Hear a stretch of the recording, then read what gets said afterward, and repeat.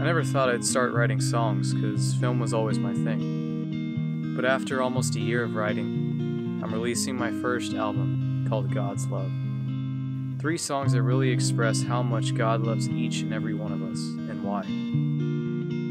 Through prayer and scripture study, this album was formed.